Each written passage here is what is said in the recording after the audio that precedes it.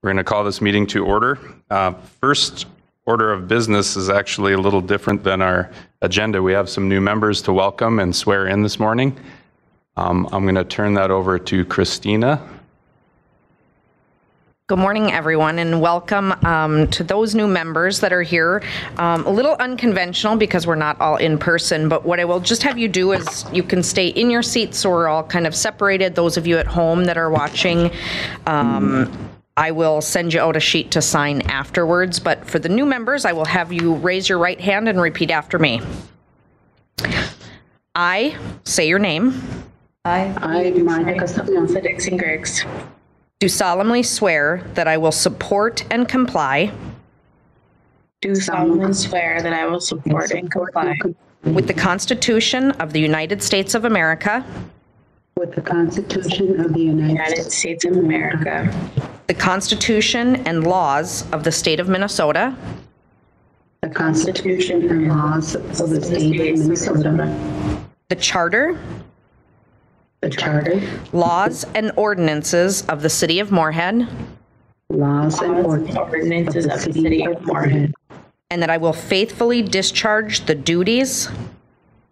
And that I will faithfully discharge the duties delegated to me. delegate delegated to me as a member of the Moorhead City Charter Commission as a member of the Moorhead City Charter Commission Commission to the best of my judgment and ability. to the best of my of my judgment and and ability. ability. Congratulations. Thank you. All right, welcome new members. Very to happy you, very happy to have you aboard. Um, in attendance today, we also have Mr. Ramstead from Ramstead Law. So welcome him today. Um, Dan Mahli, City Manager, and I think we can go to first order of business. Um, first order of business is approval of minutes. There was an adjustment to the minutes, Christina. We noticed a tiny typo in the process of electing the chair, nominating the chair. Do you want to touch on that? Yes, so um, in the minutes, I think there was just a question regarding, um, let me pull it up here. Um, Who made the nomination for nominating Joel as the chair? Um, And then the second, so I'm going to go back and just watch the video on that one just to verify that. Um, So I will make that change. And then if you don't mind, um, if we do a roll call, just so I know who's on the line also. Sounds good. So let's do a roll call vote. Uh, Martha Castanon, Present. Alexa Dixon, Present, Laura Christensen, Leah Ducharme, Present. Moshe Peterson, Here. Dave Setterquist, Here. Kathy Chile, Joel Reeder, Here. Julian Dahlquist, Here. Athena Graysick, Mark Voxland. Here. We're good, thanks. Did I miss anybody? Thanks, Christina. I did have that call, roll call on my list. I just didn't hit it. Okay, now I believe we can um, go ahead with, so we could move to pass the minutes with your amendment to it. Is that correct, Christina? So do we have a motion to um, pass last meeting's minutes? So moved, Mark.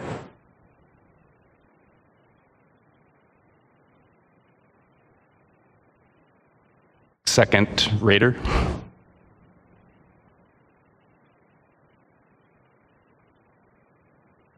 So motion, now do we, sorry, I'm getting the rules down.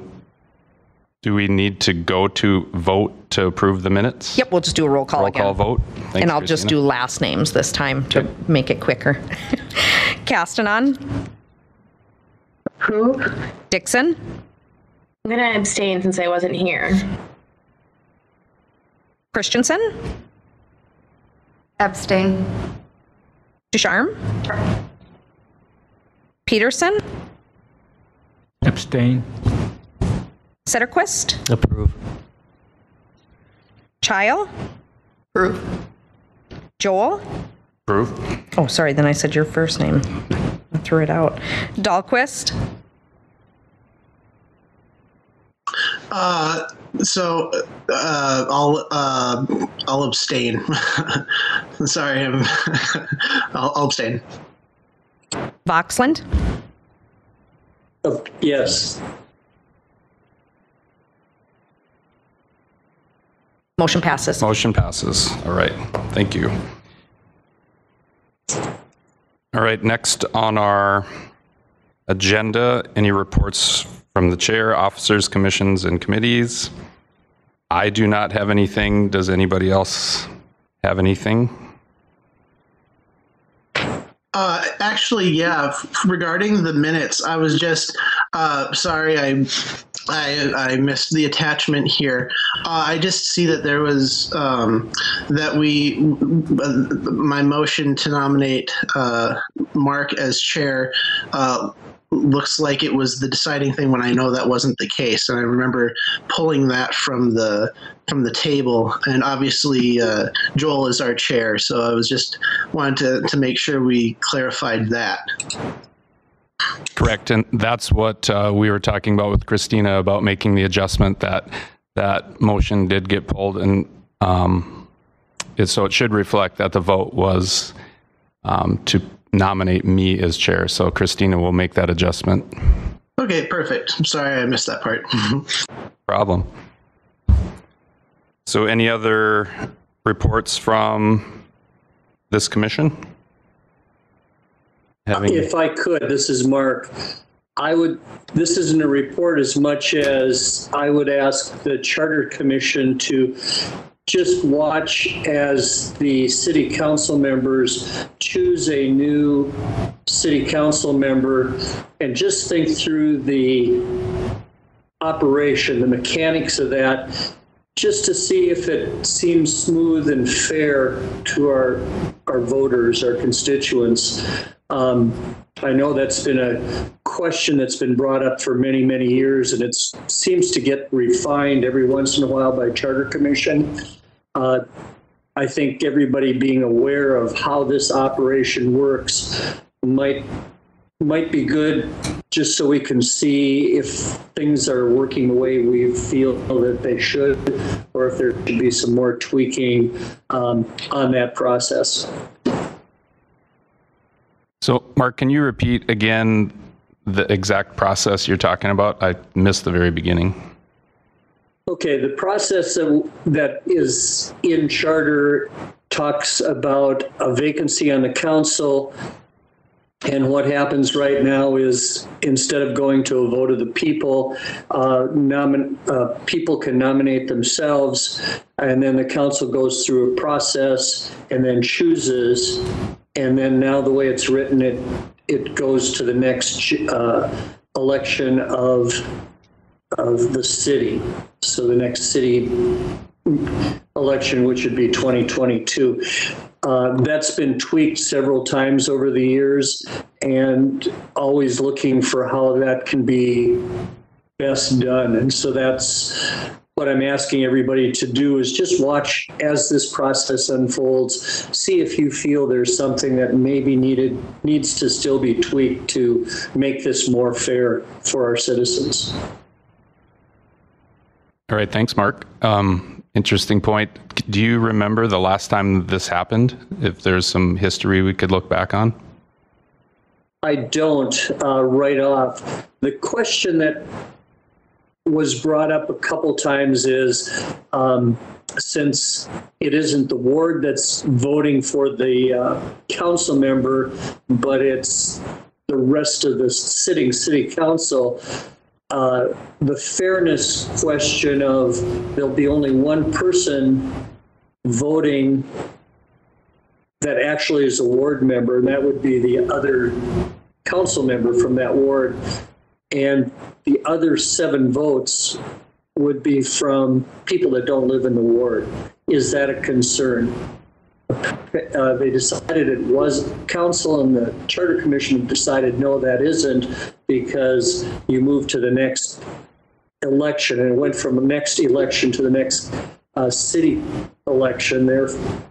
So you get out of the thing where if there's a special election for something else, this gets dumped in with it. Just looking at the mechanics, just see if the mechanics feel right and feel fair for our citizens. When the, it's just been an ongoing process over the years.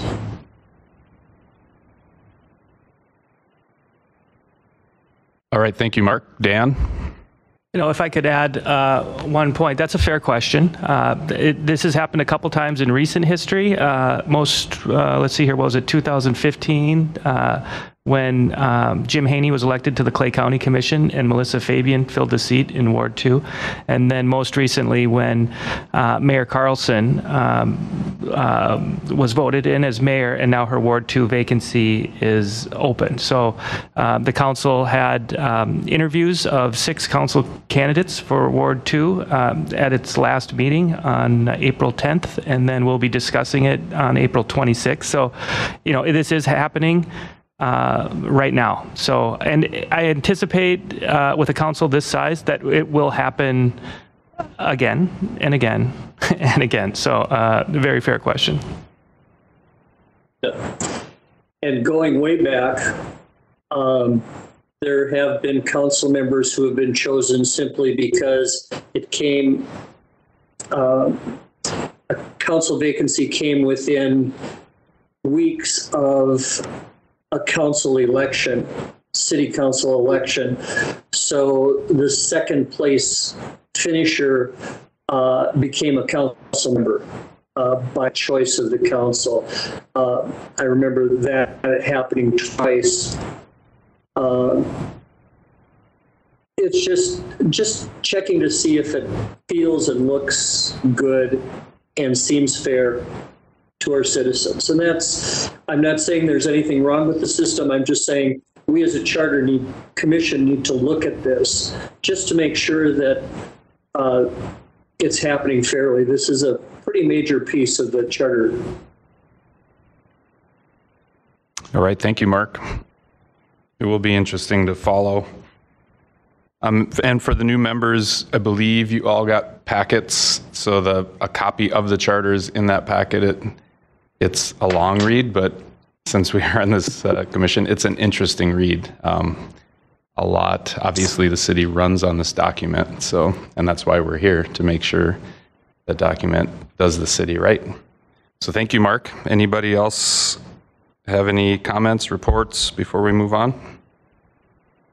Uh, yeah, I would. This is Julian. Okay, go ahead, Julian. Um, I I know going off of what um, uh, Mark said, I know there were conversations on that very subject uh, in this uh, charter commission, um, and they just kind of stopped. And I can't remember if that was before uh, you you came on board, uh, Joel, but. I know we've had some turnover with, with city staff as it pertains to this commission since then. Uh, so I just wanted to make note that we have had conversations on the subject, and it was just kind of an abrupt um, changing of, of the subject. So um, to our to our folks that help us out, um, I'll, I'll see if I can find uh, look back and find what meetings those were. Um, but that was that was a few years ago. Uh, but I, I, I seem to recall that it was around the time then when that appointment that uh, Manager Mahli was talking about, we were having those same discussions here, and and they never really materialized into anything, and it was kind of frustrating because I seem to remember we spent at least two meetings on the subject. So I just wanted to add that to the record. All right, thank you, Julian. Uh, just one more time, if anybody else had anything. All right, hearing nothing, we move on to public comment.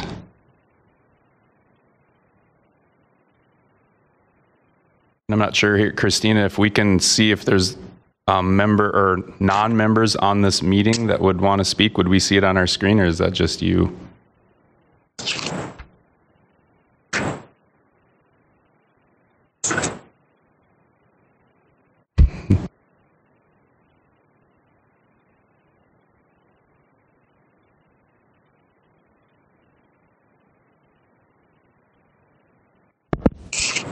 Sorry about that. Um, We would see it on the screen, and we have no callers at this time. Okay. Um, And no, nobody is in attendance here, so do we need to call three times for public comment or not? Yes, so um, calling second time for any public comment. And calling a third time for public comment. All right, having heard none, we move on to agenda item number two. Um, The elected officials serving on paid commissions or committees. So the, um, the item we've been talking about for quite a few weeks, and that's why we have Mr. Ramstead with us today. Um, Unfortunately, we're going to hear from him after this meeting, so I don't know if anybody has anything to add right now to what we've already talked about. If you do, um, please speak up. But I think a lot of what we're going to hear from Mr. Ramstead will help us um, further along our decision on what we've been talking about. So with that, does that- anybody have anything they want um, to add to what we've been talking about?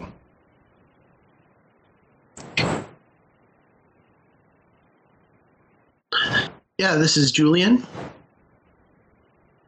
This is essentially me raising my hand. Go ahead, go ahead, Julian. um, so I was looking at, and and uh, thank you, uh, Clerk Rust, for sending these documents out. I was able to look uh, through both of them, and just kind of my summation. It, it seemed like there were two opinions presented to us. If I if I read correctly, that we have we have the state law, the state code itself, and the opinion of the League of Minnesota Cities, and those are really two opinions that I wanted to hear um, when we started talking about this issue. Um, but my understanding was uh, on page 12 of the uh, the state law that it seemed pretty clear as it pertains to public service commissions and appointing elected officials that there is a that there is a clause, uh, if that's the right term, uh, to to allow for appointment of one elected official to that commission. Um, let's see here. And I just wanted to make sure that my understanding was was the same as everyone else's. But uh, on page 12, there was the municipal public utilities commissioner, uh, city council member, um, that it was is noted as compatible with uh, state statute 412.341 subdivision 1 with the footnote of 23. Um, and that was really my, it seemed, like I said, pretty cut and dry. And I just wanted to see if that matched with everyone else's uh, reading of the same uh, documents. This Right. is Mark. Um, I read that and I thought the same thing until I was paging down, then I had to go back up. Uh, Public Service, Public Utilities Commission is a state commission. And I think that's what this is referring to. Uh, Public Utilities Commission is, um, and I can't remember, I want to say it's a five-member board that uh, regulates the utilities, electric utilities of the state of Minnesota. But that's something we, I was going to have clarified by Mr. Ramstead because I, I was reading it one way like you were, Julian, and then I thought back and I thought, oh, I wonder if that is the state commission. And I, I guess um, for our new members, this probably sounds that you don't know what we're talking about. So I apologize for that. I should have given you a little uh, a, a brief on what we've been talking about. So um, I'm not sure on the date, but Councilperson Heidi Durand was nominated to the Moorhead Public Service Commission. She was a sitting member of the city council. Um, it was brought up in one of our meetings that some of us felt that could be a conflict of interest to have a sitting member of council basically appoint themselves to another paid position.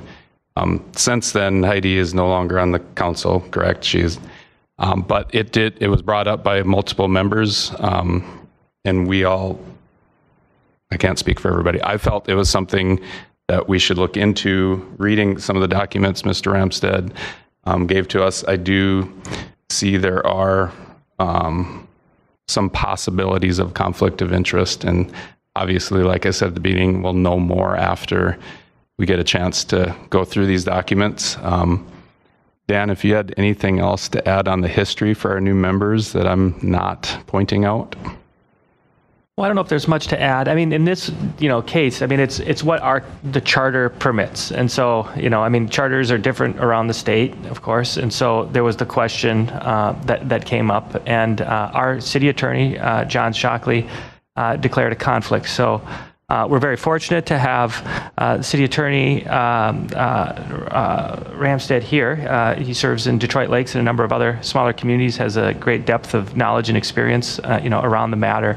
Um, you know, we'll be doing a little training around what charter commissions are, the importance, um, the functions, um, and so some of that will be answered. Uh, related to this question, I guess it's, um, you know, uh, one that is around if the appointment of an elected official on uh, uh, the utility commission, uh, you know, fits within the charter, you know, and so and whether the charter commission wants to proceed with the question or not. Okay. Thank you, Dan.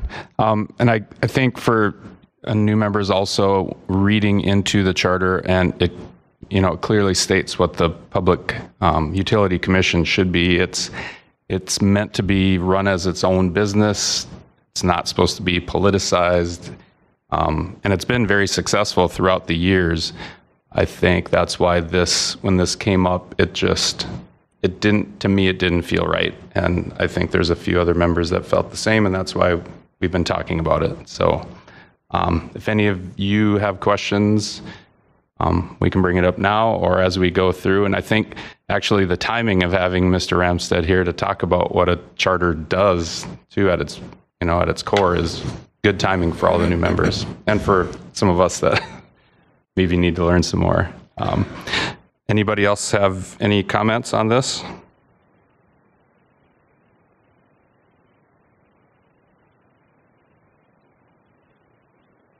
And I, I kind of figured we'd go fast through this since we are waiting to hear and uh, dig in and learn more.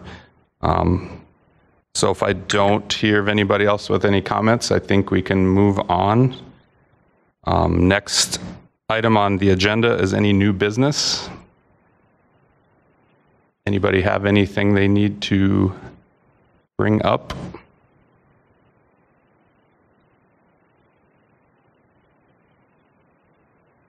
Having heard nothing, Christina, is there anything we need to do with the unfinished business, or can we just leave it? We don't. We don't have to um, have a motion to leave it as unfinished business. It just stays that way. Yeah, correct. Okay. Uh, any other comments or anything else before we move to adjourn and go into class with Mr. Ramstead? Yeah, this is Julian again. Go ahead, Julian. Sorry, I'm raising my hand a lot today. Uh, I just wanted to, to make sure that that uh, uh, Mr. Ramstead hears uh, how appreciative I am of this presentation of information. That he was able to find such uh, detailed um, um, records of of this very issue, and and I really appreciate his uh, diligence on this. Thank you, Julian. Um, at this point, then I can move to adjourn.